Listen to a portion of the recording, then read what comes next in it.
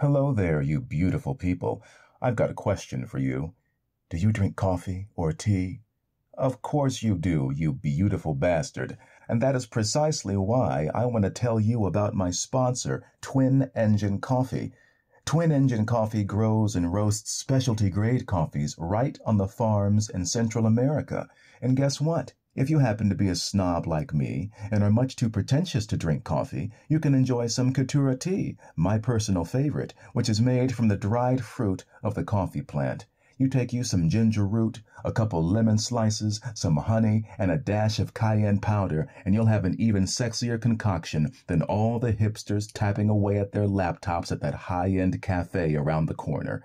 So, again, if you enjoy great coffee or tea, Support small business and this podcast by ordering from twinenginecoffee.com slash Clifton Duncan. Again, that is twinenginecoffee.com slash Clifton Duncan. There's a link in the show notes below. And now, enjoy the show.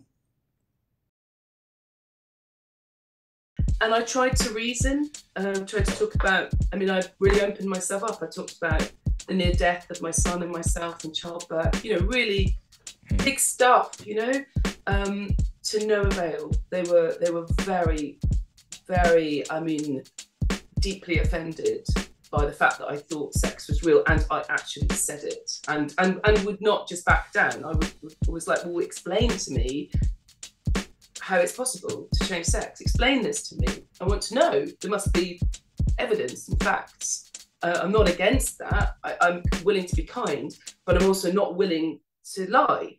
That's right. just not, I can't do it.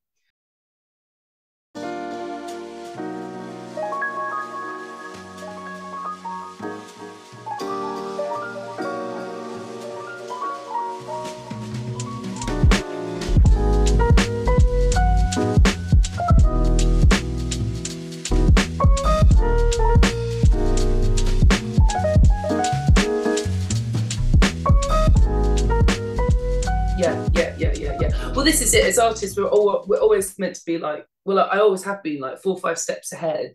So you know, I, I won't I won't say loads, but it was almost inevitable that I was going to get cancelled because I'm just like, oh, I can see this coming. Oh, here it is. Still shocking when it happens. Um, but you're right. There's so many stories. They're so similar. There's right. literally a pl- playbook for them. Yet still, people are not getting it, and you're like, come on, people, get it, get it, get over it, move on. Yeah, well, I think it's well. Look, let me. We're already off to the races. So I'm, gonna my, yeah. I'm, gonna do my, my silly my silly intro, and then we're just gonna jump right on into it. Um, well, hello there, ladies, gentlemen, and as always, everyone in between. Uh, my name is Clifton Duncan. This is my podcast. Uh, you have found us once again for a wonderful, exciting conversation with a guest that I I just um, I'm already deeply in love uh, with her, but uh, she's happily married with with children. So I, I you know, uh, there's also a sort of distance thing going on as well. So I, I, can't really do anything. She, and I think she has more integrity than to get involved with a scoundrel like me. But we'll get to all that later. Um, if you are watching this on YouTube, uh, please like, share, and subscribe. If you love it, share it with your friends. If you hate it, then share it with your enemies. And let's go off to the races now. Uh, my guest today, I, I, was I was telling her offline, and uh, I'm glad I get to use the pronoun her. Um, but uh, you know, I feel very full right now. I'm also very sort of out of my depth uh, because I'm an actor speaking to uh, to a dancer. But then I realized, you know what? There there was a, a point in around 2014 where I just did a bunch of shows where um, I, as an actor, was being called upon to dance, and the dancers were being called upon to act. And it was really funny to see how. how we were like, how do you do what you do? Um, so you know, I, I, hope to learn a lot. I hope you all get to learn a lot, and uh, and I'm happy to uh, introduce you to this amazing, amazing uh, individual, uh, Miss Kay. Could you please, please, please introduce yourself to my uh, to my fine audience? Um, hello, fine audience. Um, uh, hello, Clifton. Um, my name's Hi Rosie Kay. I'm a choreographer and dancer, and I suppose speaker now as well. Now, now, Rosie has a very interesting story, and uh, we, will we'll get to that. Um, her her cancellation. She's spoken about it before. Um, you know, we we we're we're sort of weary of these kinds of stories. Um, they're indicative of a larger problem, but uh, it is I think it is important to understand sort of how we came into contact and uh, the sort of atmosphere that's taking place uh, in the arts right now. But first and foremost, um, Madame Kay, what is it that drew you to dance in the first place? It's so it's so hard. you, are right, and, and and I was thinking about it today because I I was doing my ballet barre, you know, and there's still things that I'm like, oh, curse you hip, curse you feet, you know. Um, I I supposedly, like according to family legend, um, I started dancing at the age of three, wow. and um, I was quite picky about which dance school I wanted to go to.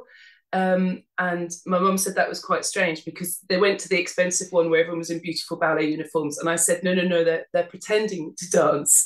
They're not actually dancing. And then she found, you know, she had to go to a couple more. And then she found like a really a good school where the teaching was brilliant and it was very imaginative. And I was quite lucky through my childhood to, to find really, really good teachers who taught discipline and taught the hard work, but also taught the beauty of the imagination and the creation with it as well.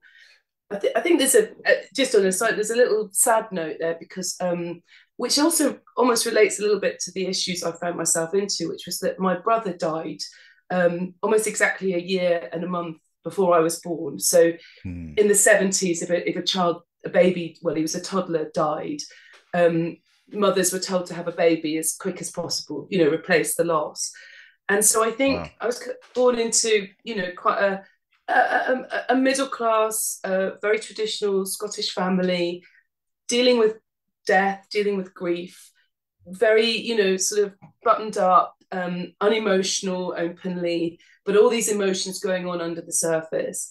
And so for me to dance and to cheer everybody up, but also to kind of pull in all those feelings and and and and, and all that stuff that must have been going on even between my parents never mind my my older sister um, i think for me it was a way to, to sort of exist amongst something that i didn't understand and i could probably never understand mm. and i think that also gave me a little bit this sense it, it, it wasn't terribly um, encouraged that I went into a career like dance. I think my parents wanted me to do something more traditional, like law or history um, and and I fought against the whole female stereotype of going into dance uh, because I I understood its grit and its toughness and not just the athleticism and the physical, you know, discipline of it, but also the intellectual and emotional side. And I always mm. felt like, well, yes, if I was a boy, would I want to do this? But I always wondered what would my brother do, and could I get away with as much if I were a boy, or could I get away with more if I were a boy? So there was always mm. this sense of this missing brother there in my life as well.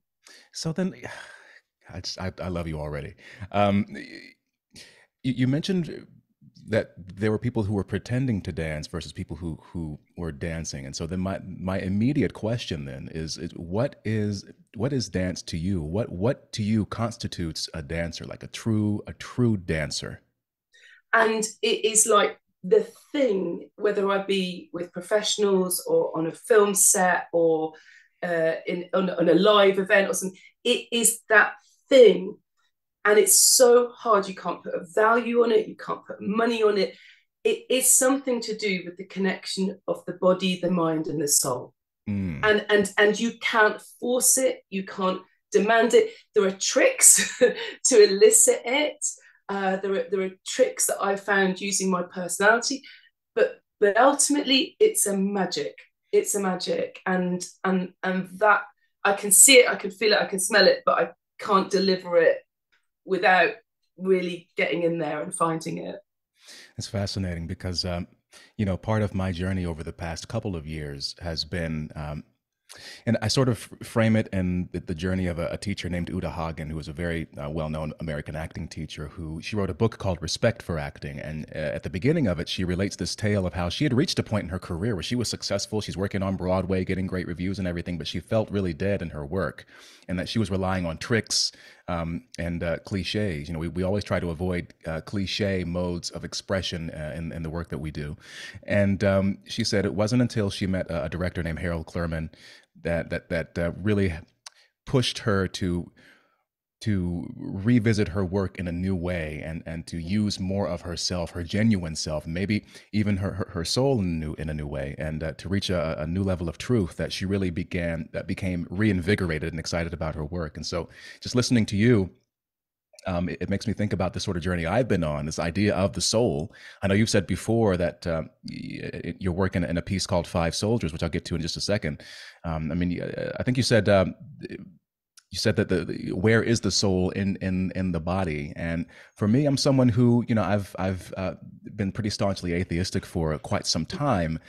But um, within the past few years i've i've i've come to wonder if perhaps art and artists um, can in an increasingly secular society um, create those kinds of maybe divine experiences, if I can be so lofty, that um, that perhaps we're, we're missing right now. I, mean, what do you think about that? I don't know because you're the one talking about soul and and I mean, which it's it's just on my wavelength right now, where I'm going. You know.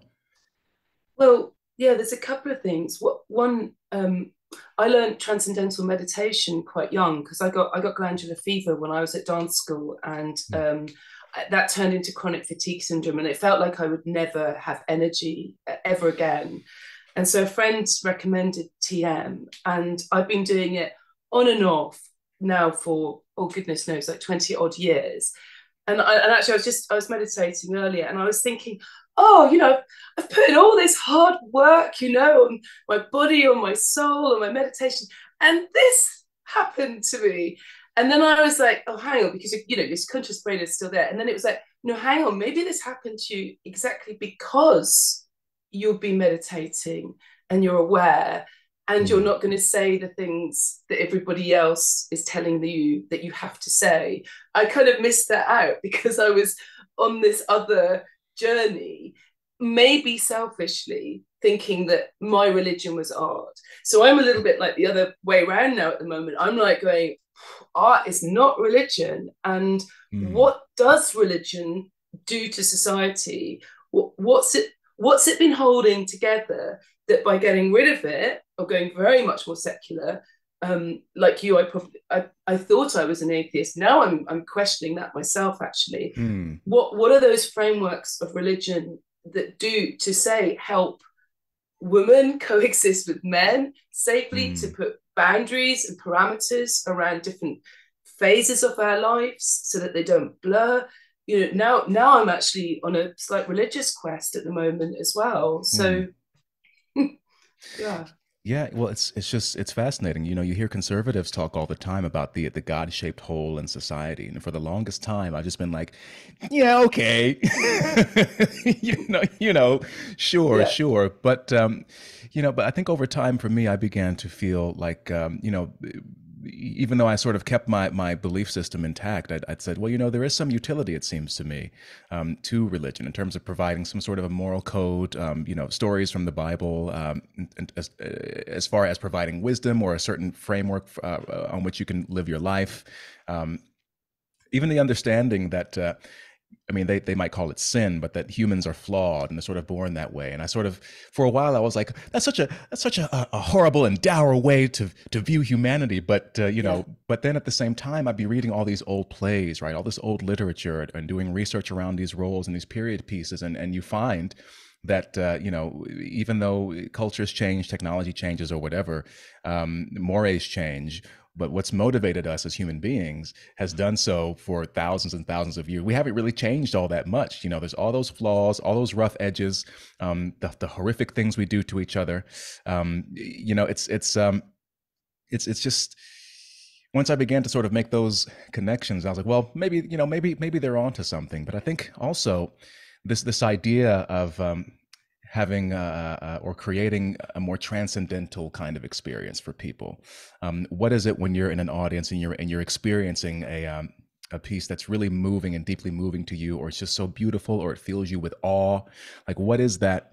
And do you even want to articulate it, or sort of, you know, try to concretize it? But like, you know, but is is it akin at all to maybe a religious experience? And that's sort of what the kick I've been I, I, don't I'm not settled on the any answers yet, but I am curious. Like, you know, is is there something to that? You know, I think it seems like it seems like, um, seems like I'm so excited to talk to you. I'm, I'm like stuttering over my words, um, but it seems like we might be sort of in the same wavelength in a way, you know? I, I think I think they touch and they and they possibly overlap, but they are separate things. I, I think um, like having a child and watching how he pretends and and play act from a very very early age so it's it's it's almost as they're forming language itself comes the playing of roles and the hmm. imaginary mm. world and, and i remember sort of watching him and going ah so these aren't separate phases this is at the very genesis of both the sense of self um, the sense of language the sense of communication and play and creativity and imagination. Like it's all happening around that sort of two, 18 months, two and a half years old. And so I think like what if we go back to like the ancient Greeks or something, like what what what theatre is doing to us is, is giving us the space to reflect, I think, the heights and depth of humanity at us mm. and give us the time and the option to go, well, it, well if I was playing whoever, Medea, maybe I'd react differently or maybe i could possibly imagine what it must feel like to want to murder my children or something. And i think that's what you're talking about like that, that little sense of like good and evil. Can we put ourselves into another person's shoes good or bad and question these things? I'm not sure religion is doing that. I, I mean I, am not a theologian and and but, yeah. but i I do remember like something that Andrew Sullivan said, who's, who's, who's a Catholic, um, that stuck with me was that often people only start to really think about religion when they've experienced something that they feel is evil.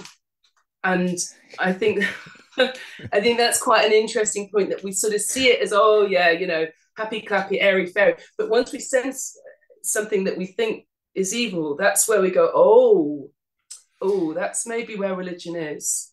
Yeah, that, that's so crazy because you know I, have said multiple times that I I've I've not used uh, the word evil more than I have in the past two and a half years. Just so, some of the things that I've seen and and, and witnessed, and uh, you know, I, and and even words like soul. I'm like, these people are just really soulless. Like, what is going on right now? You know, people are. people are suffering all over the place, and and people uh, you, you, don't seem to care about that. And I don't know what what to what to um what to make of it. Um, I'm going to change gears a little bit now, and we're going to talk about something that you don't want to talk about. I know. Um, so Rosie and I were talking uh, before online. Uh, so so she she got canceled. I won't I won't spoil anything, um, but we uh, were talking about what what happened and um, and how just sort of exhausted we are talking about these kinds of things as artists because uh, it's so it's so frequent now, um, or these stories are becoming so prevalent, and there's a whole outrage machine out there, and uh, we're we're we're less interested in that now um, as far as uh, at least this show is. Um, you know we want to we want to want to try to elevate the conversation more and uh, and you know if i can serve as an ambassador to, to the arts you know and, and bring you interesting people then that's what we want to do. But um, you know you mentioned before that uh, you sort of were on this wavelength where you were um, when people, you know, you sort of naturally bucked against this idea of people trying to tell you what to say. And that kind of got you in a little bit of hot water, it seems like. Just a bit. Yeah. just just I mean, just just a, yeah, just a bit. And and and I think what also what made me think was like we're sort of like the tip of the iceberg because I think we're mm. sort of two people that have either gone public or, or just not shut up about it. Uh, I actually yeah. know a lot more, a lot more artists who have either just quietly disappeared, immigrated, or retired. And it's tragic yes. because we're losing really Brilliant seriously people. good artists. Yes. Like the best, like the best. Well, it's, because it's, well, it's it's people that that you want who who will challenge, you know, the, the challenge perspectives, who will speak out against stuff, who have integrity, um, who aren't yeah. afraid of confrontation and conflict, yeah. who um, who are who are thinking outside the box, who are outside the status quo. Like you want people like that to be in your industries, and they're purging that right now. So for people who don't know, can you just kind of recount what happened to you, just so we get it out of the way? okay, okay, okay, okay. Uh, so so I was doing a production of Romeo and Juliet. Um, it was a contemporary setting based in modern Birmingham, uh, the city I have adopted and lived in the past 20 years. And um, I'd been researching it for about five years and then it got delayed and then it, COVID had hit and then it got delayed again. And so I auditioned really very, I wanted them as young as possible. So they were like young, inexperienced dancers, had maybe hadn't even done their graduation show because of COVID, and taking them, doing this massive massive Romeo and Juliet on one of the biggest stages in the UK. Um, and it's a big show, and we've got COVID rules, and it's really weird. Like, we're not even allowed to touch for more than 10 minutes in any hour and a maximum three hours a day. You're doing a love, you're doing Romeo and Juliet. I mean, Romeo. dance. like, you know, you couldn't do any of those trust exercises, those touch exercises, everything that's like, you know, my bread and butter to build that vibe, to build that magic, nothing. And there was a funny vibe. I could just feel it. I now look back and I think it's because I was the director and choreographer and they were feeling the oppression of that situation. But mm. I was like totally um, very democratic. It was very task based. It was very imaginative. It was lots of like, let's tell the story. I was doing, you know, it was it was it was good, but it was weird, and I put that down to COVID. So I invited the full cast of nine dancers to my house um, on a Saturday night. I'd spent two days preparing all the different meals, the gluten free and the vegetarian, and uh, all the rest of it. Um, they came. Um, I showed them around my house. Uh, they played with my son in the garden. It was a lovely warm evening. We had dinner outside. Um, my husband did try to kick them out about 1.30 a.m. because my, my son has swimming, you know, early in the morning on a Sunday.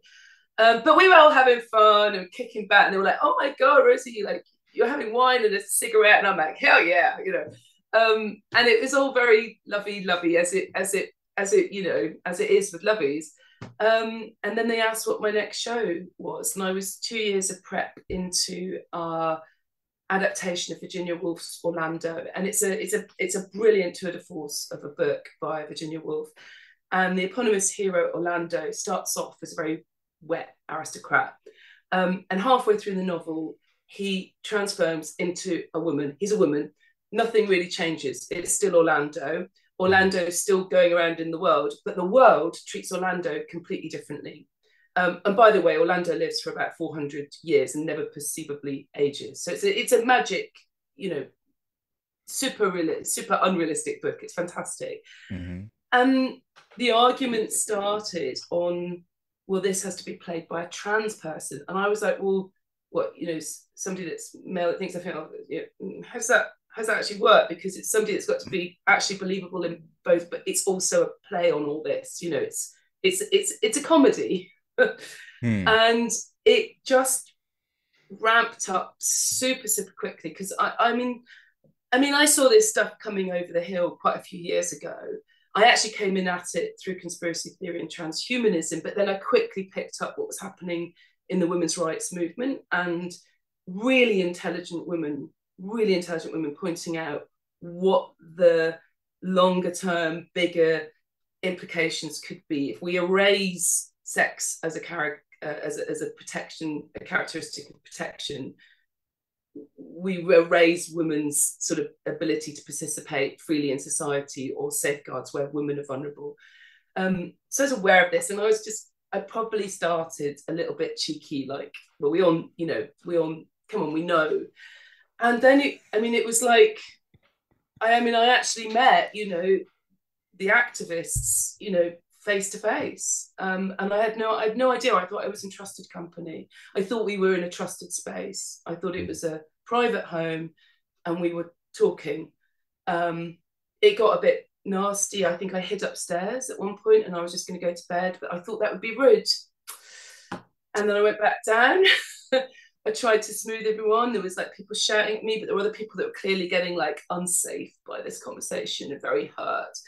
And I tried to reason um, tried to talk about, I mean, I really opened myself up. I talked about the near death of my son and myself and childbirth, you know, really hmm. big stuff, you know, um, to no avail. They were, they were very, very, I mean, deeply offended by the fact that I thought sex was real and I actually said it and and and would not just back down. I would was like, well, explain to me how it's possible to change sex. Explain this to me. I want to know. There must be evidence and facts.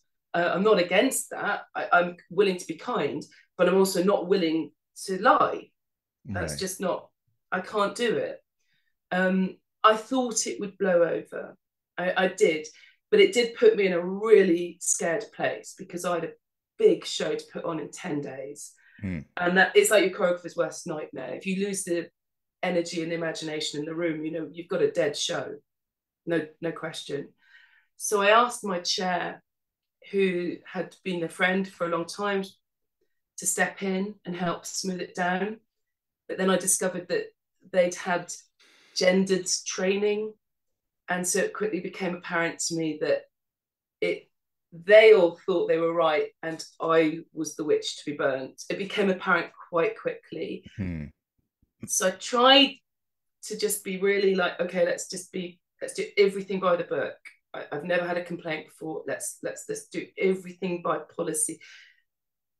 I did one investigation that lasted for six weeks, um, and I was exonerated. But then one dancer appealed, and they started my company, my company, started bringing in their own lawyers using my money and it all got really big and really serious and really nasty. And so i had to bring in my own lawyers and it soon became apparent that they had thrown the grievance and the complaints policy out the window and they were just absolutely going for me. And um, i got two two opinions and i resigned citing constructive dismissal as in they were not fulfilling their side as employers to me.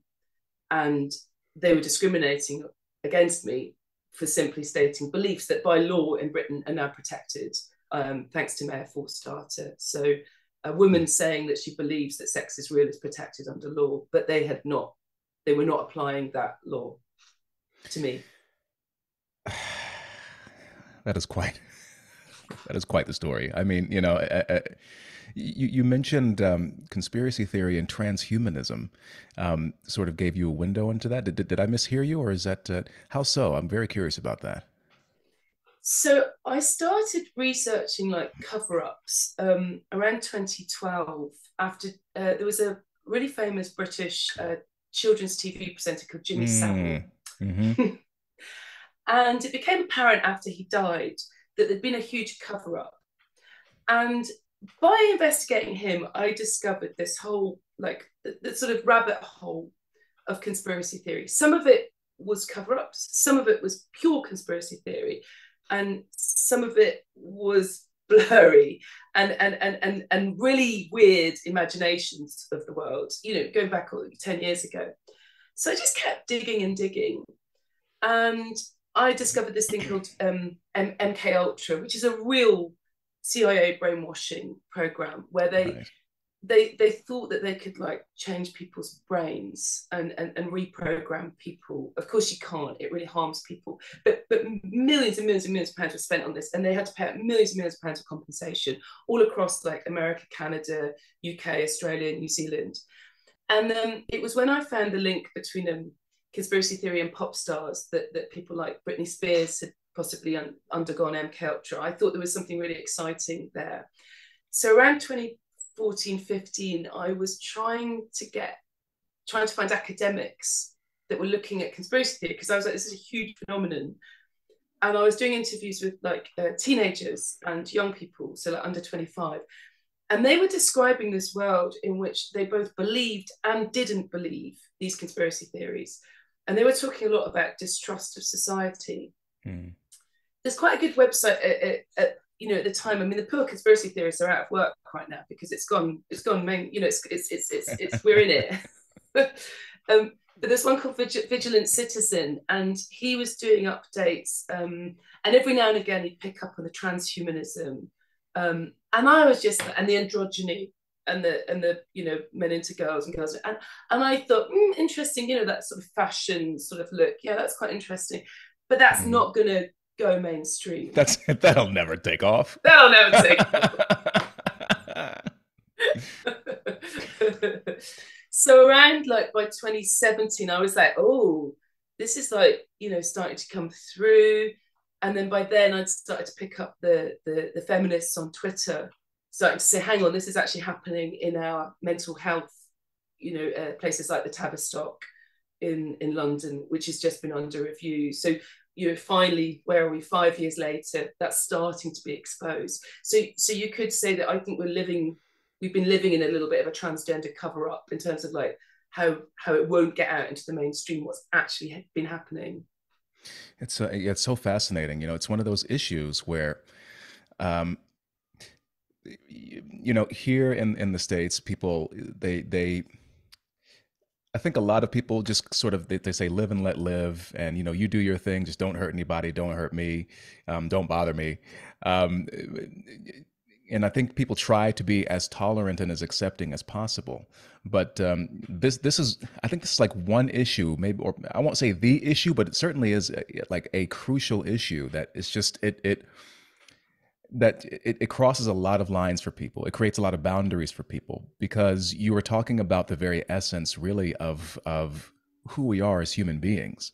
Um, and you know certainly there must be a world that that can exist where sexual minorities can can live unmolested unharassed and have all their rights and freedoms and we also preserve the idea of sexual dimorphism which which really isn't an idea it just is you know and it and especially when it comes to art you know i'm, I'm thinking about your work in like five soldiers for instance and for those who um, well you know i'll let you, i'll let you talk about uh, about five soldiers um, for a little bit and what then well, because well, yeah, go for it. Go for it. Well, what, what, uh, where, where, where should I, where should I start? I mean, well, because well, go, well, for those who don't know, it's a um, it's a piece about five soldiers, and um, what what's interesting about it, uh, you know, and they're going off to war. We we see them, uh, you know, in, in, training, and then they get into battle, and then um, you know things happen. And what what was fascinating about it to me, especially within uh, the bounds of this conversation, is that there's four men and there's one woman in it, and the thing for me is that um, if you eliminate, I think about I think about like Othello, for instance, um, the the the end of that play.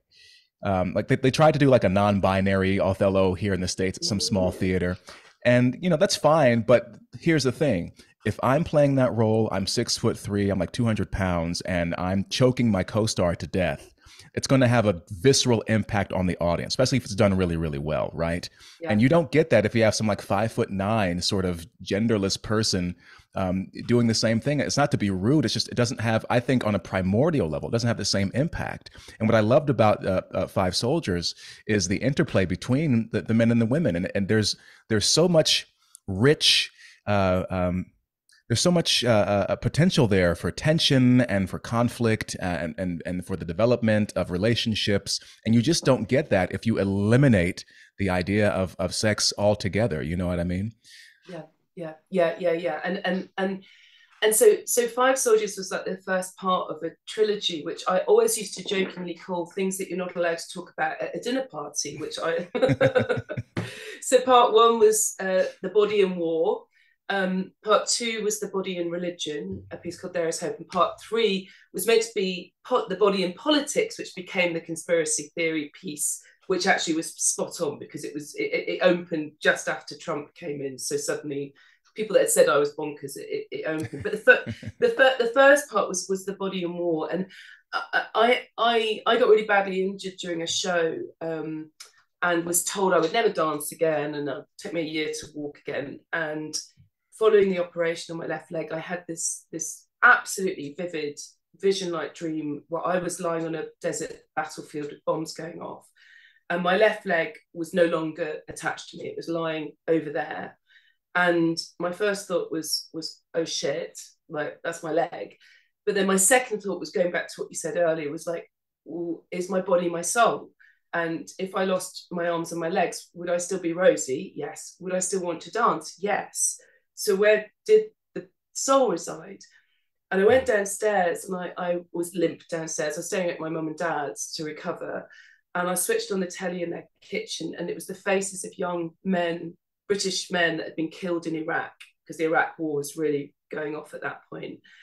And I just looked at those young men and I thought, maybe it's not like the movies. Maybe they're not brainwashed. Maybe they love their jobs as much as I love being a dancer and I'd do anything to get back on stage, but all I'm risking is injury. I'm not risking my life. So, how do you train? How do you train someone for the discipline and the rigor where they know that the risk of their job is not just profound life changing injury, but it actually could be your life? And that was what set me off on this journey. So I, it took me like nearly two years. I convinced a retired um, general you know, I said there's war poets, there's more artists, there's more photographers, but the medium of a soldier's body, it, uh, soldier's job is their body. Let me as a choreographer come in and just try and participate as much as possible, you know, and, and just try and feel what it feels like. So I, I, I just got this email, turn up, you know, 6 p.m., bring all this kit, list this long. And I turned up and I thought, I was such an idiot. I was like, oh, the army in the UK, it's 10% female now. So for, you know, one in 10 will be a female. I turned up to an all male infantry battalion.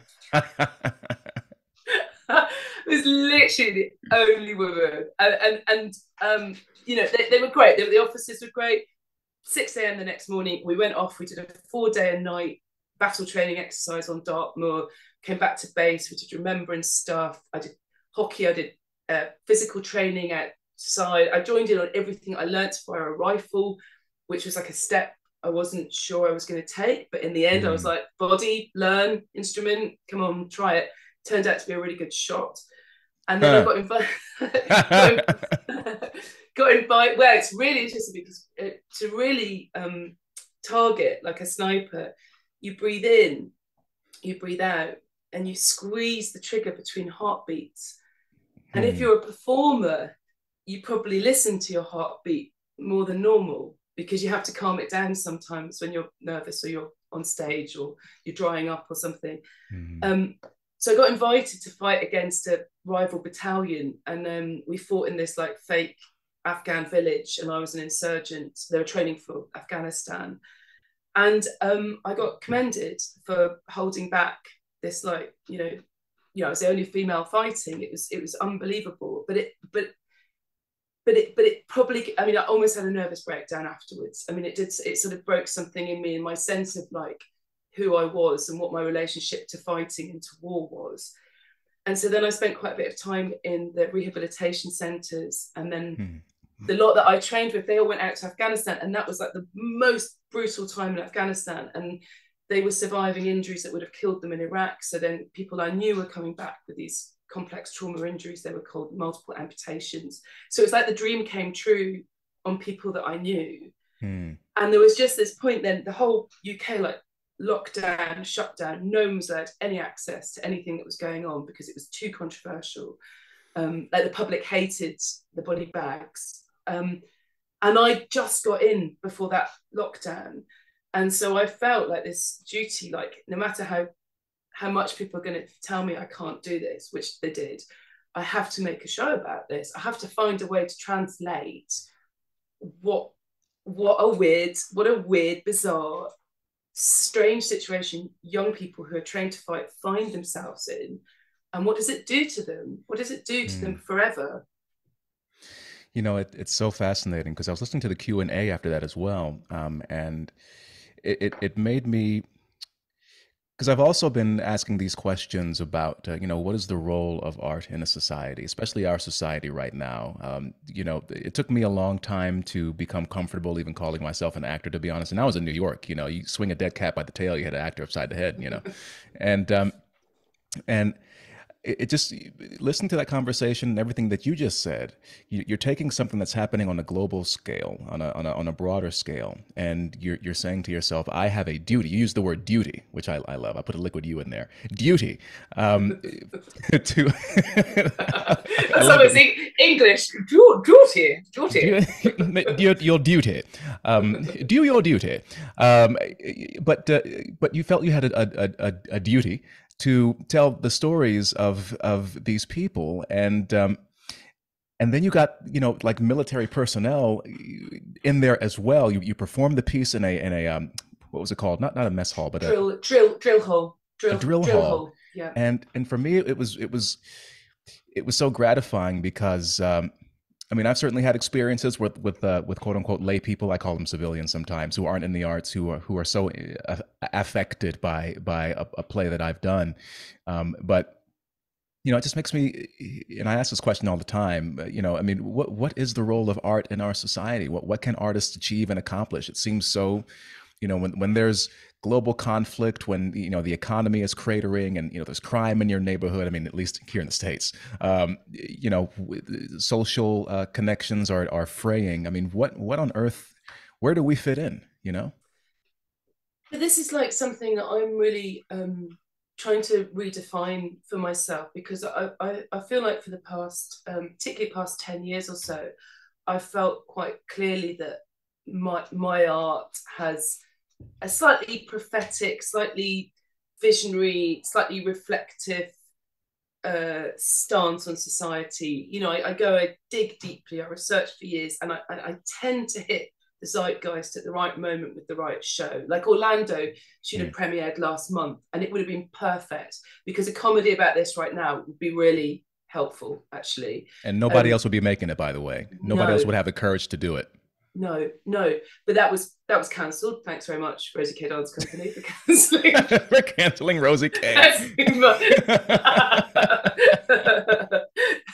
um, but but but what what's happening now, and I'm hearing it more and more from young artists, is they're saying that that they are artist activists and yeah. they are I'll, I'll stop you. I'll do you one better. Actors, they're calling themselves activists. Get the fuck out of here. But please continue.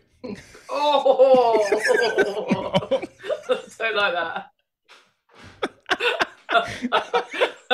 I mean, did you ever hear anything like like get out, get over yourself, please, like please, no, but no, and and and this is like what I to talk to you about because it's like you can't just like set out uh, in your twenties and go right, that's it. I'm a I'm an activist and change the world. you need right. some craft. You need some discipline. You need some goddamn experience, right? You need to have to do a show when you're puking up in the wings. You have to do a show when your cat's just died. You you know you have to right. do a show when there's one person in the audience. You know you have to do a show when it's a standing ovation. You need to have all those things yeah. for you to learn your craft. It's a craft. It's not a hobby. It's not a political movement. It's it's a proper craft, and I, I really feel strongly about that yeah, no, we're we're the same, and you know, I'll tell you, and this is sort of out out of. Uh, somewhat of, of, a digression, but it's also related. You know, whatever this particular ideology is. I mean, back in 2020, when all of the uh, the uh, pandemic stuff began, our our union, uh, the Stage Actors Union, Actors Equity, sent out this email that said that uh, you know the old adage that the show must go on is outdated. You know, it's it's unsafe and also racist. So so they're they're and you know even the idea of um, they're the the uh, the Smithsonian. I don't know how much time you spent in the states, but the, the Smithsonian has a um, a subsidiary. It's the African American Museum of of Art, and uh, they put out this ridiculous PDF that, that, ended up getting so much backlash they had to delete it from their site. But uh, it it basically listed all these elements of white culture, right? And it was yeah. things like discipline, punctuality, um, individualism. And so all of these things, you know, that, that, you're talking about, that I'm talking about, that I believe in. I mean, I, am I'm this guy that's like, all right, so you had a bad day. I don't give a fuck. Like, we got we got a show to do, you know. Um, yeah. But yeah. but it's you know, I mean, I, I heard these people talking about, uh, you know, we shouldn't have to show up um, uh, you know, at, at 10 a.m., like on time, because like, what if you're not ready? And like, that's sort of a, a white way of thinking about things, sort of a European um, mode and, and perspective, like showing up. I'm like, dude, we have a deadline. Sorry, we have an opening night. People are going to be there paying money. I, I, you know, you can show up when you want to, but I'm gonna be here, ready to work. And uh, that that sort of attitude now, it's so it's becoming so passe and the work is clearly suffering for it. And I, and I look at the younger people now you know i haven't been back to my alma mater in a while um, but last time i was there you know I am looking at these people i'm like i don't even want to work with you. If i find out you're in a show like i don't i don't want to be in the same rehearsal studio with you because i mean i'm going to feel the sort of weird social pressure to not, you know, uh, trip over any. Uh, uh, uh there's a uh, the British conservative uh, Douglas Murray calls them tripwires. Yeah. You know, like yep. I'm not. I, I don't want to step over any of these tripwires. Like I don't want to put forth this energy to, to, keep censoring myself and deadening myself inside. By the way, I, I, call it the erosion of the soul. As a matter of fact, mm-hmm, um, mm-hmm. Ju- just to just to help you feel better, because my job is to take off social masks. My job is to is to be exposed and raw and vulnerable. And it, like that's that's what i'm here to do but i'm not here to take care of you. You go and and you, if you need a therapist if you're triggered by everything then go to your fucking therapist. That doesn't belong in here. We have work to do.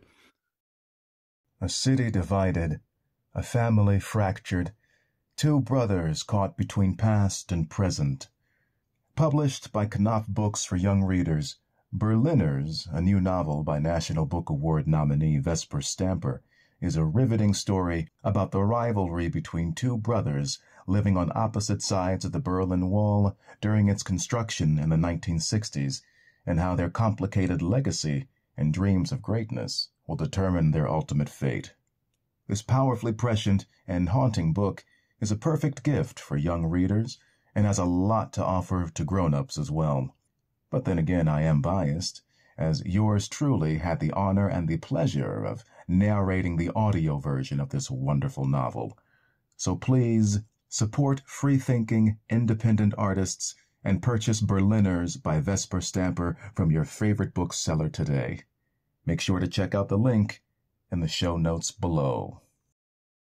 Yeah, yeah, yeah. I, I mean, I mean, whoever made that idea up of like bring your whole self to work. I mean, it, it it's such a confusing one for artists actually because you know you, you don't want absolutely every single problem in the world, but you do want a sense of honesty, of vulnerability, um, of sharing, of, of, right. of, this like a genuine, a genuine safe space where where you're allowed to explore. Like because sometimes the most stupid thing you do actually is the key that unlocks the next thing, you know. Yeah. And so you've got to you got to play. You've got to be like childlike and curious, and that means right. like making mistakes or saying things wrong. And I, I, completely agree with you. I want I want my judge to be the audience, uh, possibly the critics as well. You know, in whatever possibly. field that is. But we we're there. We are. I do feel there's a sense to to, to serve, not to just serve myself or my or my ego. Um, and and I do worry about like in general this idea of like a, a, work ethic being completely you know like the whole idea of working for money being a being a sort of like um, state sanctioned oppression or something i find that really worrying it's a, it's a patriarchal capitalist european construct essentially right. which has to be broken down and I don't know how you, you know, and I've said it over and over again, but I don't see anything of um, any significant uh, work of, that, that has like permanence and and staying power being produced by this particular culture right now. I just I don't see it. No, no, no, no. You're absolutely right. I, I mean, and it really is. It, it's it's both destructive, it's nihilistic, and and and it is a bit lazy. It you know, Very and, lazy. and and and that's you know and, and and what's really worrying going back to what we talked about earlier around cancellation is you know we're we're wiping out particularly a generation of really intelligent women who have reached a certain age that are going to say what's true and what's not true you know mostly through their own their own lived experience. You know we're going to mm. wipe out a generation of artists because theatres art galleries are too worried to put their work on because they say something like lesbians don't have penises you know in their work. Um, uh, which which is true again you know uh, and there'll be a, and there'll be like this generation of, of artists and, and and again going back to cancellation i think there are real opportunists there who are going ha ha ha we've got rid of the competition. We can come in with our new identity that's sort of teflon coated and and we get a foot in the door and people are too scared because we'll complain and complain and complain if they don't let us show our work. And and it's it's done through quite unsavory means. I mean like my, my family background um, is Scottish and Polish, and my grandfather came uh, had to get out of Poland, came down through Eastern Europe, ended up in Scotland, met my granny, fell in love, married, dropped in Arnhem, survived Arnhem, disappeared, ended up back in Scotland. He was going to take the whole family back to Poland. My dad was born by then, mm. but the Iron Curtain came down, mm. and so I grew up at the dinner table, you know, talking about these things. And it's that idea of like not only have they like you know sort of dispel you like like a lot of my family are exterminated in, in, in the death camps. Not only do you have that horror your neighbors come along and stolen your mahogany t- table. And it's like it's my mahogany table. You know they're not just stealing the riches they're stealing all the um the means to the riches as well. And and and we got here by hard work and discipline. And yet there are some things I would never go back to in the dance world. I'm sure you wouldn't in the theatre world. There were no question there were abuses of power, no question. But but this is this is this is way the other way. This is not this is not an equalizing and a you know making the world a better place this this is this is something else completely yeah and uh, you know it's I, I don't want to work in an industry full of people who complain their way into jobs. Um, that, that, you know, and and fund people who fundamentally don't prioritize uh, the work and don't prioritize, you know, the the art. Um, they're actually prioritizing their ideology, um, you know, yeah. and and what's what's happening now, and I've and I've had this reflected. I mean, maybe it's self-selection, people talking, you know, my own people talking back to me, but but I felt for a long time from a from a minority standpoint you know it, it, now what i'm seeing is people are just sort of they're seeing um you know more and more black or brown faces or whatever and they're just like they kind of roll their eyes now because they they they have a sense or they they sort of reflexively assume that that person is not there because of their their skill or talent or their appeal or ability. They're just there because they're the right skin color. And so that's going to backfire on people like me who you know have the chops and the training and actually deserve to be there. And um, you know, and and also, you know, it it it it it it erodes your ability to work. Like once I once I let go of this idea that I had to be a certain way in order to appease to appease uh, a certain audience, you know what I mean? Like oh, like I used to go into stuff being like oh man, what are white people going to think? Man, what are my black peers going to think if I do this? Yada yada. Once I let go of that, which is really an offshoot of this sort of you know quote unquote progressive ideology we're talking about, which is so deliberately race conscious. Um, yeah. You know, everything opened up for me. My work got better, and um, I became more free in terms of the the sort of choices I felt like I could I could uh, I could make. And you know, I, I just I I can't I, I I don't want to work with people who don't who aren't on that wavelength anymore because then it just it, it will it, it's going to cripple any kind of um, artistic drive or freedom that I would have, you know? Yeah, and and, and that makes me think um, a little bit.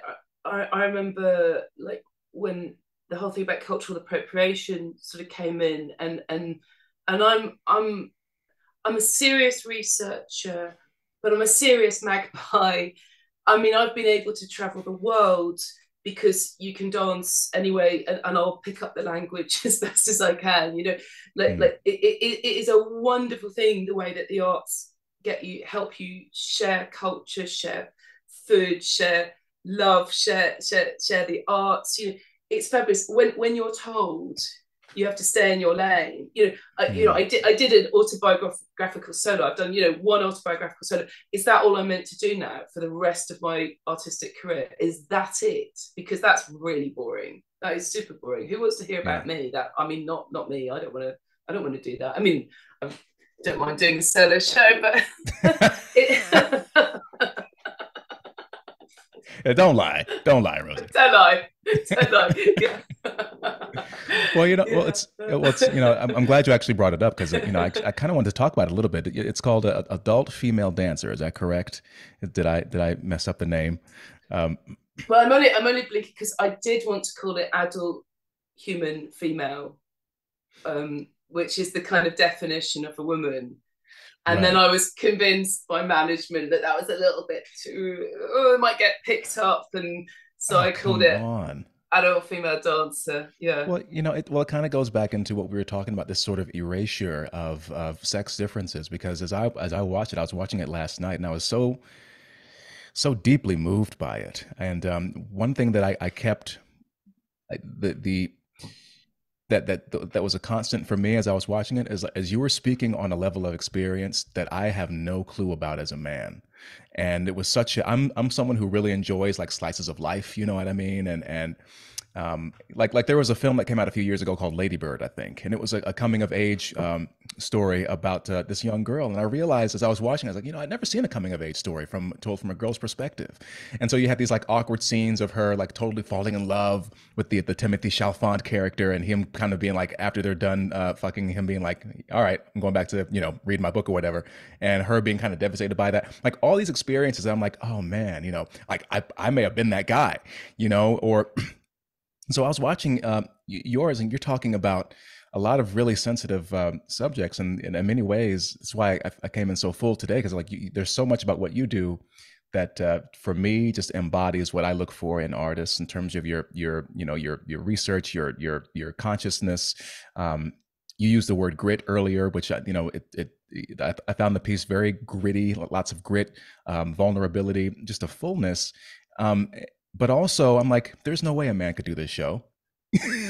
you, you, know, like it would be, but and and and I'm and I I'm happy about that, you know, because it gives me a window into like into your world, you know, and and and if we if we continue to, it, it's not that you know there's not amazing dance pieces to be, uh, you know, or stories to be told about you know sexual minorities or non-binary people or whatever, but you know we also have to preserve, I think, what you know what what a woman is because uh, otherwise i mean how I, I don't know i'm gonna shut up but i just i just i was so blown away by by by this thing because i you know i just I, I just would have no no clue about you know the sort of realms of things. I don't know. I'm I'm I'm I'm just blowing you up right now. I'm sorry. I'm, just, I'm gonna stop talking. I'm gonna drink some tea. but like, but where like what was the genesis of, the, of that piece? Like, where did it come from? Well, well, actually, I mean, it's a bit of a funny story because um, we were um, we were doing a US tour of Five Soldiers in spring 2020, and um, one of my dancers uh, got refused uh, visa entry, and so we're flying over the Atlantic uh, to to the West Coast. Actually, we're doing a sort of three week tour down the West Coast, and I realised that I've only got four cast members. The show's called Five Soldiers. We're in America. There's no excuses, you know. There's no excuses so I sat there and I suddenly dawned on me like and I wasn't I mean I was still dancing I was teaching class but I was absolutely not fit. I was not like in the I was not in performance mode whatsoever. I hadn't mm. been I, I, mean I'd given up for about seven years then. And um I was like right um I'm gonna have to be the fifth soldier and we're gonna have to rework the show on the flight over Mm. Um, so we did, so we did that, and I, I got to the hotel room and I just did drill all night because there's this four minute of deadly drill that is just like absolutely like if you get it wrong, it's just the worst thing in the world, and and, and you have to get it right. And I did one week of shows in Sacramento at the Mondavi Center, and still the dancer couldn't get out. And then I did another week of shows in San Diego, and finally the the fifth dancer appeared but there was something in there was one night in San Diego. These so this is a show made for 20 year olds. This is not a show made for women of my age. like, like you are hitting the floor and getting up and hitting the floor and getting up and pouring with sweat and everything. But That's what I, I, thought night, that as I was I was like, yeah, this, this, is not I would not be doing this shit. Like not not at my age. no, no, no. You know, I, have had like you know multiple operations. I'm like, oh, but you got to you got to go for it. And there was one yeah. night where I was just like, I was just power. And I realized it wasn't the power of like my body, it was the power of like me, like my a performer, an older performer who's performed for, you know, coming on to like 40 years I've been on stage. Like, like, mm. and that was this, uh, there's something lit inside of me, like, oh, I miss this. I really miss being the one on stage, not sat stressing about what the audience is thinking because when you're on stage you don't care what the audience is thinking you've just got to be it. So when I came we, we just got back uh, before the travel ban came in like we just got back but th- they were literally switching off the lights at Birmingham airport when we got home. It was oh, wow. ter- terrifying. Got back lockdown happened couple of weeks oh my goodness we've got to homeschool a five year old and I was like right I'm gonna I'm gonna retrain gonna start from scratch and I'm gonna I'm going to do a solo show, you know, because this might be a year. Of course, it was a year. Um, and I got myself back to performing. So th- there was a moment um, in mid 2020 when J.K. Rowling wrote her essay. And I'd, I'd already been working and you know recording sound, recording speech and writing scripts and then improvising to it. It was some I I wrote these awful long essays and it was oh it was awful and then doing these terrible dances. Oh you know it's like okay bit by bit and then J.K. Rowling put her essay, and it was so close to what I was trying to say with my work mm. that I was just kind of like, yeah, this is this is the moment. This is the moment. Women just this is still a taboo. Women talking about how much happens to them, not because of their identity, right. but because we have we have we have biological vulnerabilities. We do. If you you know, and, and there's all sorts of strange conditioning that you justify to yourself when you're a young woman and you say, No, I'm free, I can do this. And then it's only as you get older and you realize it's happened to all your female friends of mm. certain age. And you look and you say, That's what happens to young women. And that happened to me. And I can't deny it. Yeah, I mean, because there there's just stuff that uh, I mean, it's deeply autobiographical. And again, I'll leave I'll leave a link to this um, in the show notes below so people can watch it. Um, and again, you know, and I was so affected by it, you know, as because as a man, it's like, yeah, wow, I had no idea. You know, maybe I've maybe I've been someone who, because you know, I mean, you know, and I'm, I'm happy to say, you know, men we're motherfuckers. You know what I mean? We're motherfuckers to each other and to everybody else. Um, but it was such a um, it was such a, a, a just a powerful experience that uh, that and and right now we're operating in uh, in an environment where people are actively working to rob um, rob someone like me that could learn a lot and that could be sort of have my mind shifted my, my heart kind of shifted um, we're creating an environment now where people are sort of actively working against um, pieces like yours that could really um, shift the conversation in a way. And um, it's it, it, they, they but they can't see the forest for the trees because they're sort of possessed by this idea that they're you know changing the world and they're gonna um, uh, you know they're they're doing the right thing. And you know you can't doubt their sincerity in in most cases I think. But uh, it's just it's an it's a but you're there it's it's weird. I'm like it's it's I don't want to I have no words you know? I can't even because it, it, just makes me. It's, it's crazy making, and um, there seems to be no way out of it. But you know, and there's so much more I want to say. But I try to keep these things to about an hour. So the last thing, uh, I guess, the, I'll switch to. Oh, I could talk to you forever. I can tell already. Like if we if we were in school together, we would have to be separated because we just be fucking around the whole time. Um, I, I, get that. I get that vibe from you. But uh, no, I've been trying. I've been trying to teach you the splits. I, I know. Come on, Clifton. mm, get, get, get, the fuck away from me. Um, my, my body does, doesn't do that. Although I will say, so it's so it's so hilarious. So I, I lived with um uh, when I was in Harlem, I lived with two Alvin Ailey dancers, and uh, oh wow, and and and they were, I mean, incredible, incredible company, and uh, you know, but they were always like walking around in various stages of pain and soreness, um, but just beautiful, beautiful people, and I remember, you know, I was also doing the shows. One of the shows I was talking about earlier, where I, you know, where I was an actor being called upon to dance. Um, there was a show called Kung Fu. Actually, it was a it was a bioplay of Bruce Lee. It was really fascinating. And so we had these uh, dancers who were doing like you know just these crazy fights and, and choreography. And um, it was Sonya Tayeh, I think, who did who did the uh, choreography. Mm-hmm, mm-hmm. And um, there was you know early on in sort of workshops and everything. I'm like trying to do backflips and all this other crazy shit that, that, these dancers are doing. And you know, and I'm like I'm a big dude, and these guys are all wiry and, just, and making it really look easy and everything. And um, and at a certain point, I said, "Man, come on, man! I'm like six three. I can't do this shit." And then. one of these Ailey dance, like one of the lead, I think, male Ailey dance, who's like six four, jacked, yeah.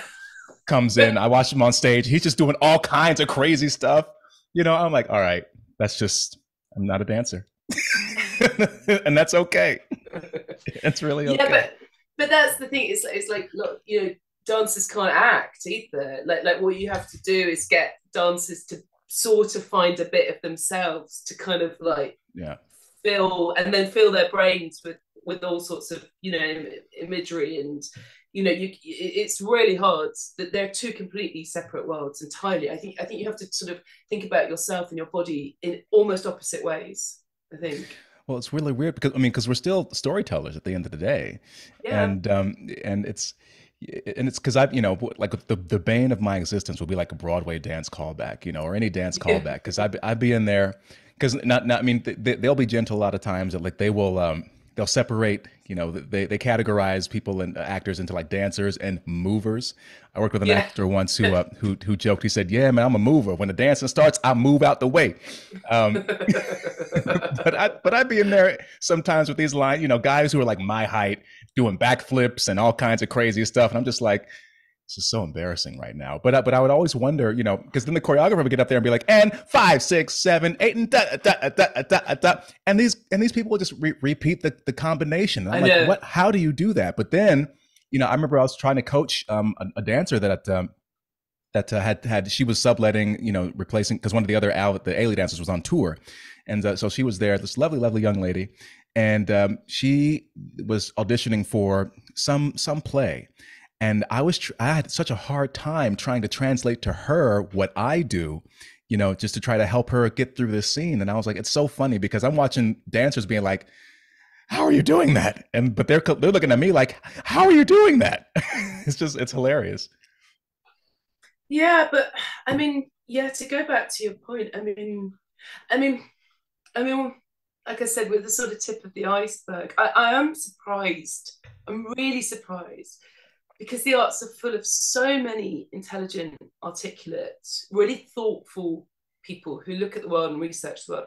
Mm-hmm. And they're either they're either swallowed up by this and also believe it, or they are just so self-censoring. I don't know how on earth they can work. It must be really painful, actually. Must be.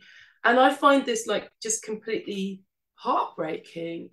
I, I mean, like you, I don't know, I don't know what my future is anymore because I, I, I'm I'm out on a limb here at the moment. I mean, there's another crowd of amazing artists, uh, you know, across the world, and people that understand free speech and freedom of expression, and people in other countries rather than the UK that also recognise that like freedoms are really hard to to gain and very easy to lose. And once you've lost them, yeah. you lose them for for generations. And and I feel like this canary that's been you know calling it and just constantly getting punished for, for, for saying something that I think is really um, important and logical and without malice or hate whatsoever. It's done mm-hmm. absolutely with love and and like honesty. And it's like you're not. I'm not a, not allowed to say this. Like, but but where where where are the people? The artists are the ones that are meant to be doing this. Please. This is, yeah, this has been you know the the big big struggle of mine, and um, it, it's I'm I'm at a point right now where um you know I'm I'm just filled. I've, I've accepted the fact that I'm just filled with anger, just like righteous anger all the time um, about what's happened, and especially given you know what's shaken out during the, the pandemic. Especially you know for for me, I'm one like once I saw the Broadway community in New York City, one of the cultural centers of the world.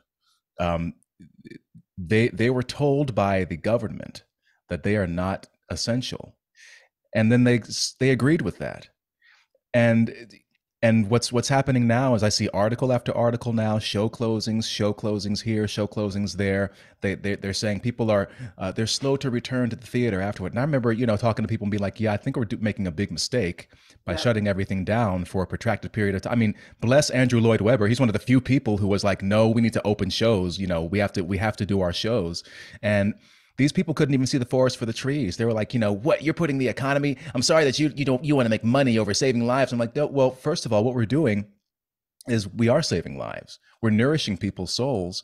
And you're talking about Broadway, there's a whole economic ecosystem that people, you know, lose out on, uh, that the city loses out on. I mean, part and, and, it's and it's Broadway. Like it's it's one of the central thing. Like it's a part of New York's identity. And you and you right. think that you're not essential. You're less essential than McDonald's. You're less essential than the liquor store around the corner. Are you kidding me? So I'm at the point now where I say you people are not fit for purpose anymore. You people don't care about about art. You don't care about uh, the preservation of it. Now you're complaining. I, I joke now. I say, yeah, you know, maybe it is sour grapes. I'm dining on a banquet full of sour grapes, but you know what? I'm washing it down with some sweet, sweet Schadenfreude right now because yeah. I tried to tell you people and you didn't want to listen. And so I think to go to your question, um, you know, you said you don't know what your future is.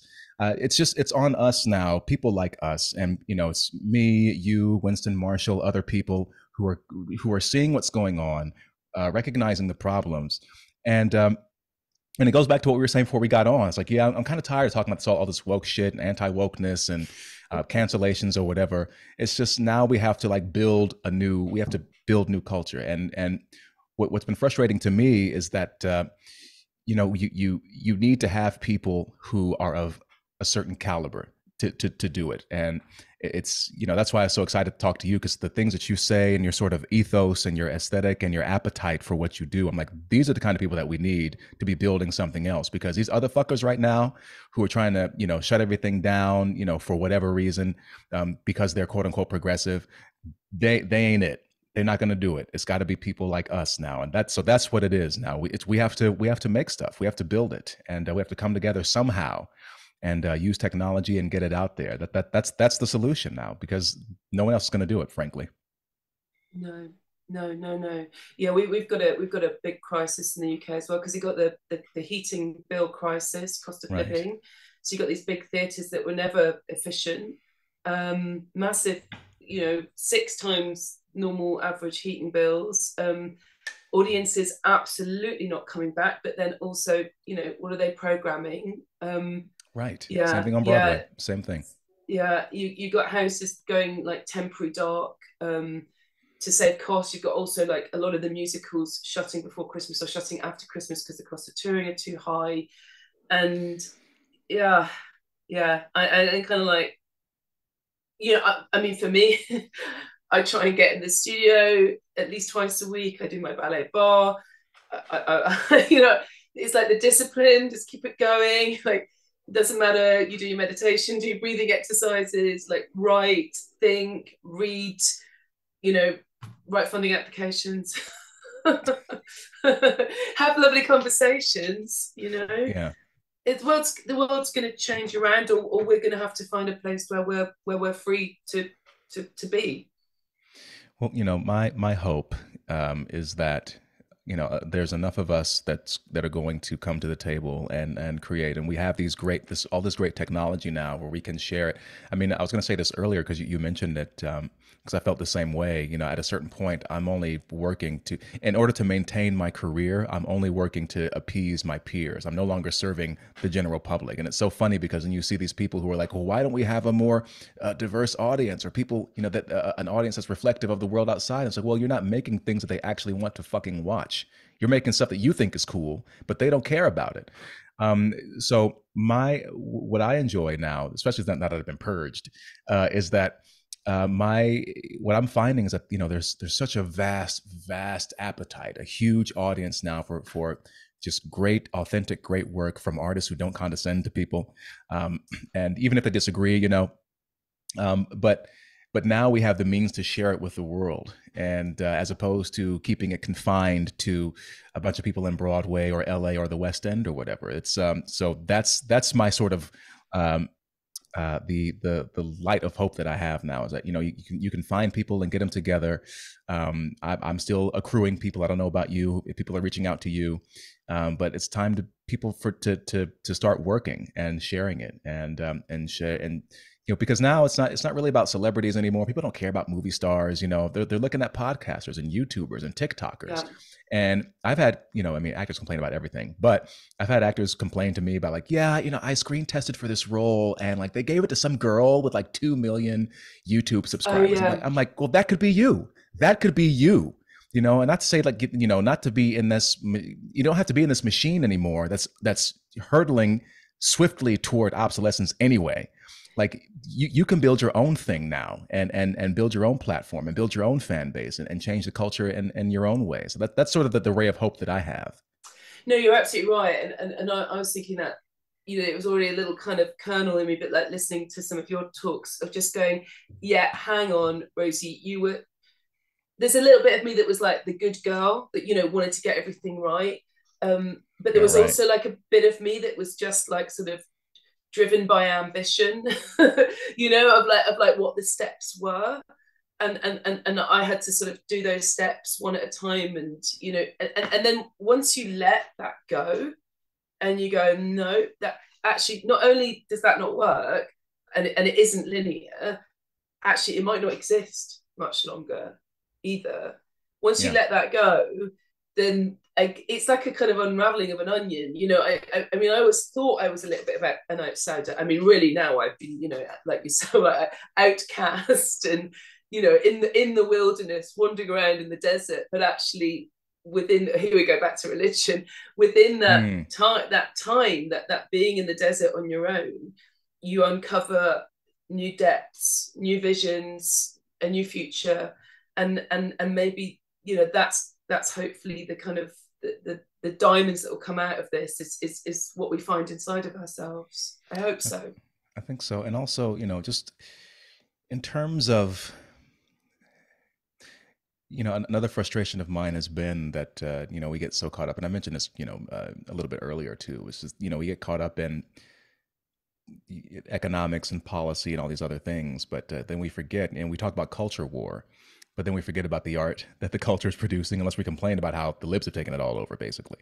And um, it's i think we it's now um, sort of incumbent upon people like us to just to you know have these conversations and and build stuff and just and keep going. Because i do think i do think we're having an impact. And um, you know i i certainly hope that uh, people are watching this and and sharing it around and and seeing what's going on. Um, hopefully through that you know we'll get more support you know i've got i've got people it's it's, it's so funny too because you know in, here in the states people are like oh you know I mean, I think Stephen Sondheim at one point, at one, you know, I mean, I, I revere the man, uh, you know, just revered uh, theater composer, lyricist. Um, but he said at one point uh, that I'm glad there's no Republicans in our industry. Yet at the same time, oh. they, they cast Republicans as like, as like the party of like rich white men. And I'm like, well, don't you want their money if they're so rich? Like, don't, don't you need their money? What the fuck are you doing? Like, you don't have to like them, but like, take their money, put on some shows. And then don't, then don't complain when your show's closed or like your theater's not, you know, not financed and like you, you're, you know, you're, you're not getting audiences. Like, what are you doing? Like, what are you doing? Like, it's for everybody. It's like artists for everybody. Shut the fuck up.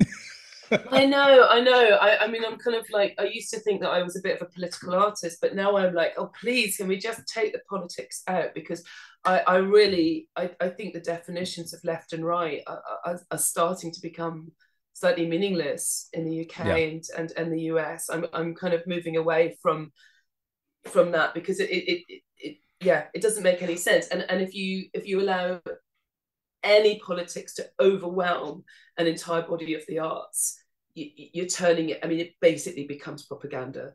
And it's right. that thing like you're asking right at the start, like, like how can you tell what real dancing is? It's like how can you tell what real art is? You know it. You know when it's mm. not hmm. real. You know when it's propaganda. Yeah. You know, you can it, it smells, and and and that's where we are. You cannot let ideology overrule. You know, I was thinking also like you know things like like Henry V that you know. Um, hmm. I didn't understand that until I'm old enough and have gotten through enough to, to, to go, good God, you know, if you put yourself in the arena, you're going to get shot at. Like, that's what mm. happens. It's how you deal with it. And, and I thought I had been, you know, like, oh, I had a terrible injury. no, no, no, no, no. Like this is these these are these are important times. These are difficult times. They're important times, and you're either in it or, or I mean, where do you where do you hide? They will come and find you. They they yes. can. I mean, I literally I have like some friends um that that support me but can't publicly. And they get caught out by like the wrong eye movements and they're under investigation or something. Wow. you know you you you will get caught out for wrong thing. That's so you like, better to come out. Just just do it. I mean i know you said you listened to um uh, the talk i had with mary mcdonald lewis uh, uh, that i that i just had. You know it was just brilliant. She's like you know just just get called names whatever. Just just go through the fire you know just just just do it and stop because guess what? You know, like you're still alive you'll still be fine. And it's funny because people call you know they, they look at me they're like oh you're so brave yet. I'm like i don't think so because i feel like the majority of people actually agree with me. So i'm not i don't think i'm saying anything that's you know really sort of outrageous or whatever um you know or, or taking a really bold stance on things. I'm like no it's just reality and i'm just calling out what i think is bullshit.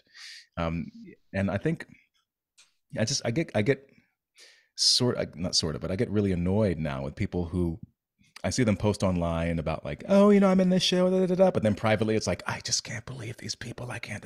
I'm like, well, well, fucking say something then. If more people got up and said something, then we wouldn't be in this position. But people are so ignorant as well because, I mean, you made me think about um, work with this one uh, um, established like award-winning actress, Tony-winning actress, uh, moving on into rec- in, into directing. And I was having this phone conversation with her, and this was in the wake of you know I don't I know like the I know the racial stuff isn't as as bad um, in the UK, although I, I, joke all the time. Like I apologize. Like whatever we flush down the cultural toilet here seems to like wash up overseas. So I apologize to my my my, uh, my British colleagues out there. But um, you know, in the wake of all the uh, the George Floyd unrest and all the racial unrest and all this stuff, you know, I was talking, you know, it just it swept through um, the the American theater. Like all of a sudden, now me, I'm someone who's been encouraged from since I was 17 years old that you know if you work hard, you you know you're gonna have a long career. You're very castable. You can do this, you can do that.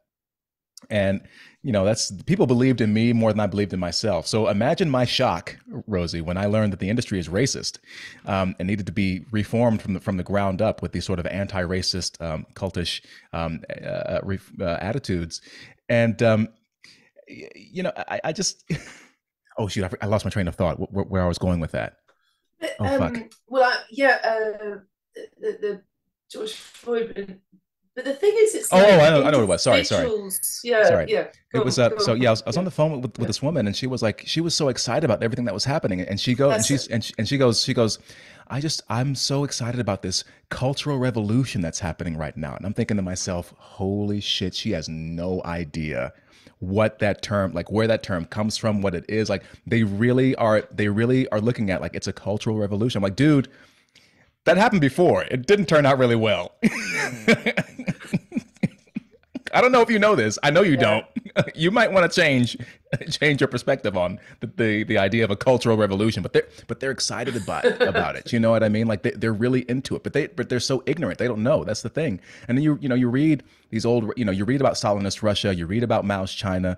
Um, you know I just I just finished doing a um an audio book um by this woman named Vesper Stamper, um, which she set in 1961 yes. around the, the construction of the Berlin Wall. Um, you know, these these people they kill art. They're anti-art. They don't care about art. They take out the artists first. That's what they do. But you people are going right along with it, but you don't know. That's the thing. Like they just don't know. They're so ignorant about it. Yeah, I, I was doing um, some talks with people from the military, security services, artists, and academics last year. Yeah, 2021 um, at something called Army at the Fringe. So it's kind of on the under umbrella of like um, the army and the arts, and, and and we sort of helped set that up with Five Soldiers a few years ago. Mm-hmm. Um, and I was asking like, like you know what, what what what do soldiers fight for if they're not fighting for you know values such as freedom and civilization? Like you know how, how you know because it's it's it, we know that like PTSD is much harder when a war has um, less than moral reasons. So there was there was a lot of PTSD after World War One, and there was very little after World War Two because those fighting in it felt that they were fighting the good cause. Hmm. And I, I, I, was asking a, in a talk with um, a military person and someone that was in the secret services and now works in cybersecurity and, and, and an artist. And I was saying, you know, why is it why do they target the artist first? And they sort of like the artist laughed and said well of course we target the artist. You're the difficult ones. You're uncontrollable. You're not normally motivated by money. You're motivated by something else. And you you you constantly ask questions. That that's what that's what you do. And the security guy so, so a secret security guy um, he used to work for the french secret service. He said well actually we use um, artists as like a, a modeling across different um, countries and um, when we spot, first of all, we spot that uh, artists get sort of uh, deplatformed or, or, or cancelled. We see that first. Then we see their livelihood threatened, so they can't work. Then we start to see them sort of targeted or, or harassed. Then we see them getting arrested. Then we see them going into prison. Then we see them getting tortured. Then we see them getting executed. That that's the kind of like that. I'm sad, sorry, but that's the way it, it goes.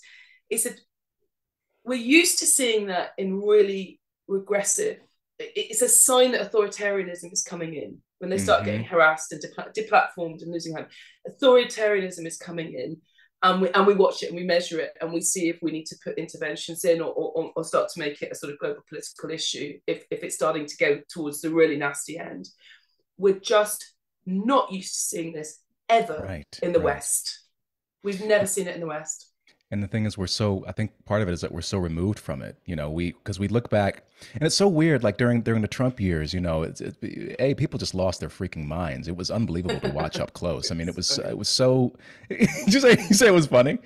yes. Well, it's like Brexit though, in this country, it was like people lost their minds uh, I, I, mean, weirdly, I, I think I saw Trump coming a bit. I could just, I could sort of sense it. I think it was like working with all these teenagers about conspiracy theory. I was like, something really strange is is going to pop up out of this, and there and there and there Trump was. And then, of course, I mean, uh, you know, we've toured to America quite a few times, and so I have some American friends, and also, of course, of course, being in military environments, I'm used to people with probably different political views than me and right. getting used to that years ago. At first, I was like, oh my God, you read the Telegraph? and now the telegraph? That's hilarious. And now and now you know and so i got i got used to discussing and debating and people disagreeing with me and me disagreeing with them. You know years ago um and, and I'm I'm interested in people with you know I have a very right. good friend who explained to me why she thought Trump was the savior of America. And, and it was like oh do you know what? I can hear you. I can hear what you're saying. I don't need to necessarily agree but then I'm not voting for him or not and then I think it's been I mean with Biden coming in it's I'm not going to get into American politics but my goodness that's that's a whole other thing as well oh that's just that's just depressing uh, but but part of it is um you know, part of it is a reaction to the hysteria surrounding Trump. But what I was going to say is that it was so fascinating that everyone was so obsessed with calling him a Nazi, Nazi, Nazi, and and everyone knows who Hitler was. But then, but they don't know about like Mao and Stalin, and and and and those people. And uh, they're they're so. I mean, I, I, remember I was talking to one girl. This is a re- uh, we were rehearsing something, and uh, she and it's really bizarre because she was so clearly high IQ. It was really sexy, as a matter of fact. You know, like she was like just really, really sharp. But at one point, she was just like, um, yeah, you know, every once in a while, like just like world cycles or whatever. I don't know what, what the fuck she was on about, but she mentioned like she she put these two different things on a continuum. She was like, you know, there every once in a while there comes an era where there's authoritarianism on one end, and then socialism on the other end. And I'm thinking to myself, that's not that's uh, I um and I and I mentioned uh like I mentioned uh, Alexander Solzhenitsyn. She had no idea who that who that is. No clue.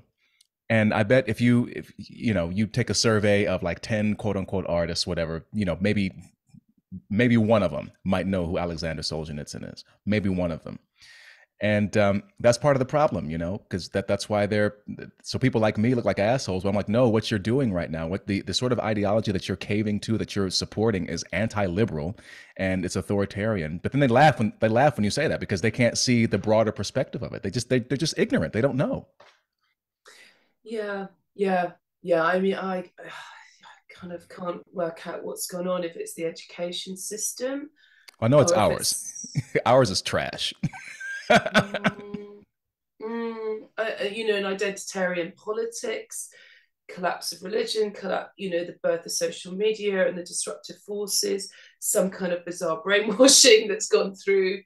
Um, because sometimes you know you meet these people um, who are believers, um, sometimes they recognize me and they, they, they, they, they, I can see them. They kind of like laser in, like you know, mm. like coming for me. And I, I, get very, I get very Peter Boghossian now. I get very calm, very, very calm. Mm. And then I, I, I, let them have a go at me, and, and and then I will just because the thing is with people that are brainwashed is you cannot, um, you can't fight them with facts and rationality. It does, it doesn't, no. doesn't do anything, um, because something's really deep inside so so as far as I understand from deprogramming, because I worked with some specialists when I was making MK Ultra, is you need to ask a question that goes in so deep that when they leave you, that question is sort of stuck in their brain. And it just because the brain is an amazing thing and it will keep asking itself difficult questions if the seed has been placed. Hmm. I think they're on such a sort of front top level. If you're asking them the question, like for me, my question is like, do you do you truly believe that humans can actually fully change sex? And and do you believe that, say, a child, say my child or your child, actually could be the opposite sex and, and should we do that to them is that right is that right um, and just you know ask kids keep asking a few questions and see what happens. And you can sort of see them like oh, oh, you know uh, one woman just sort of like said well i disagree with absolutely everything you stand for. However it is wrong that men are in women's sports. I disagree with that because that's just not fair. And i was like well hang on if you can see it in sport can you not see it in like women in really vulnerable positions, like at rape centres or women in prison that are locked right. in with a transgender prisoner, or women in hospitals that are in now mixed sex wards when they've had really, you know, invasive surgery or when they're asking for female care? Can you not see that if you can see it in sport, can you not see it elsewhere? It was amazing. Like just to dismantle slightly some of these like like like they're like pillars of belief systems. It's like, but no, where, did you believe that five minutes ago? Yeah. Hey, hey, boy, how you doing? Um, yeah, you know, I, I, I've sort of given up hope on changing people's minds as far as the or the, the culture and the the arts, but uh, I, I, I do think that we have to leave it there because uh, I, I got a, I got another interview that I have to jump on, and I feel like I could talk to you forever and ever and ever in a day. I gotta I gotta have you back on, or maybe even meet you in person and. Uh, you know, because there's actually a lot, a lot more. I had like a, a list of things and thoughts that I had to to share with you and, and ask you about. But uh, in the meantime, uh, how and you know and you always want to leave them wanting more in show business.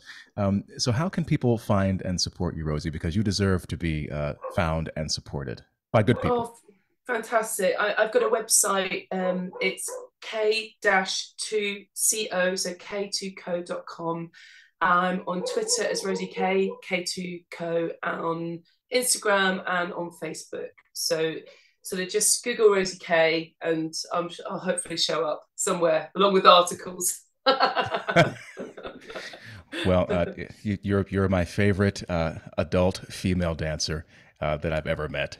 So thank you for coming on. Oh, thank you so much. I've really enjoyed it. It's a life affirming chat. So yeah, I was looking forward to it. Yeah, brilliant. Thank you.